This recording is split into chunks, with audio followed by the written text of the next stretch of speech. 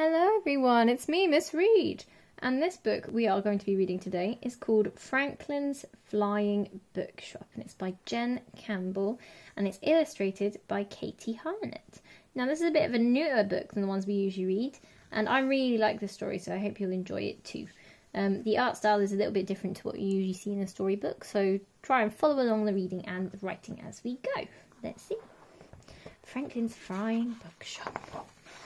We can guess who Franklin is. Franklin loves stories. Stories keep him warm at night. His front door is a bookcase that keeps out the wind. There are lots of books inside the cave that Franklin lives in.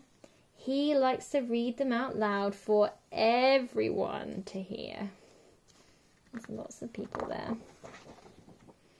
Every day, Franklin reads about King Arthur and roller skating, about electricity and baking. He reads about spiders and ballet, and how to do kung fu. When the sun goes down, Franklin reads by the light of a thousand fireflies, because fireflies like to hear stories too. But if it's a warm night, he spreads his wings and flies into the sky to read by the light of the moon. There is a village near Franklin's cave. Sometimes Franklin goes there, but it's always quiet and it's always empty. And he can never find anyone to read stories to. I think we can all guess why that might be. They don't look very happy to have him here. Maybe they're a little bit scared. So Franklin goes home and reads about gymnastics and helps the bats in his cave set up a trapeze. Then he yawns very loudly and stretches his tail and climbs into bed with a cup of chamomile tea. He sleeps tucked up under hundreds of comics and dreams about Vikings sailing over the sea. You see the bats get to be in there too.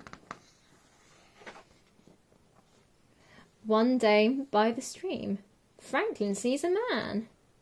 What are you? cries the man, quaking in his boots. I'm Franklin, says Franklin, and he holds out his hand. I'm a dragon who loves books, and I live in a cave.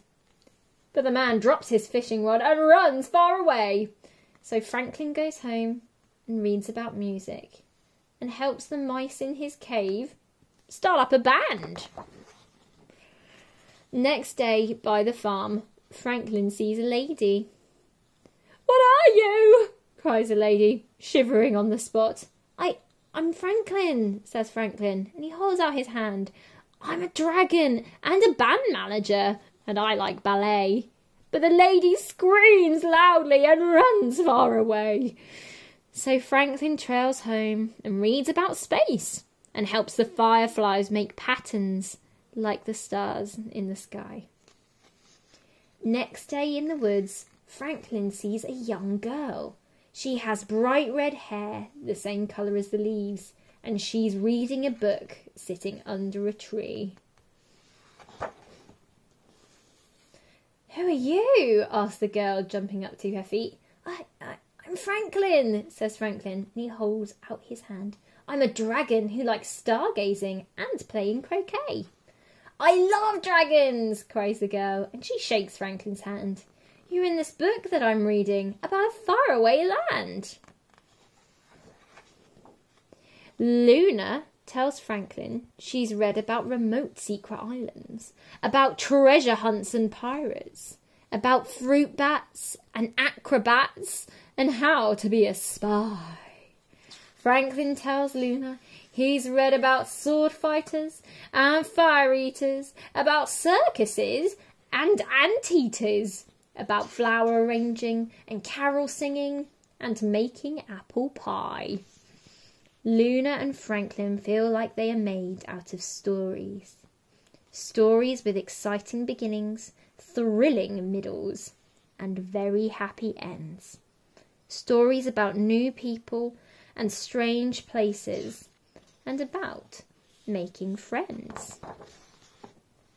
They want to share their favourite books with as many people as they can. So they sit down together and they come up with a plan. Ooh, there's so many different books and stories here, and all of our mice friends as well.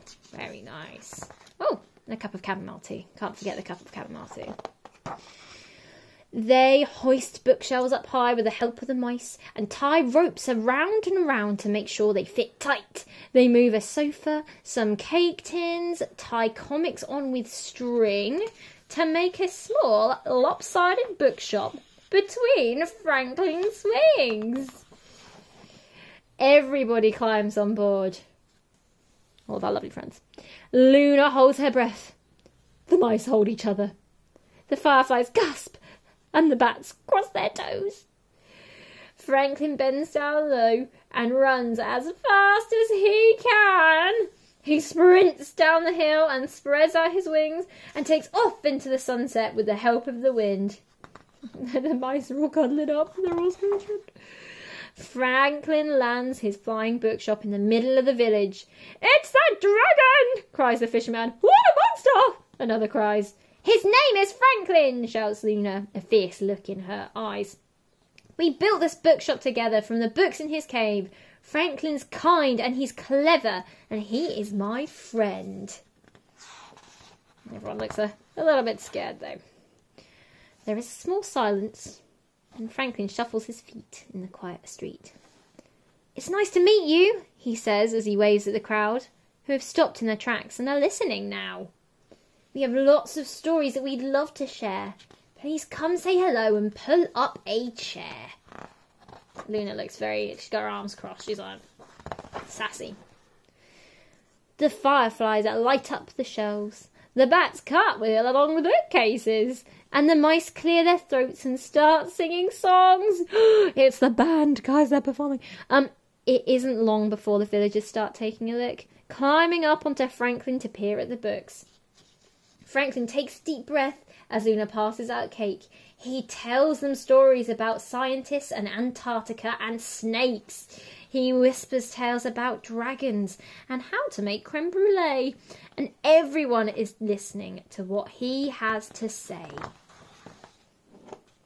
Let's fly, Luna smiles as the fireflies dance. And the acrobat bats show off their kung fu. So they all hold on tight as Franklin takes flight, reading books by the light of the moon. And that's the end. But you can see they're all all being a bit more accepting and understanding now that they know they all have something in common. They love a good story.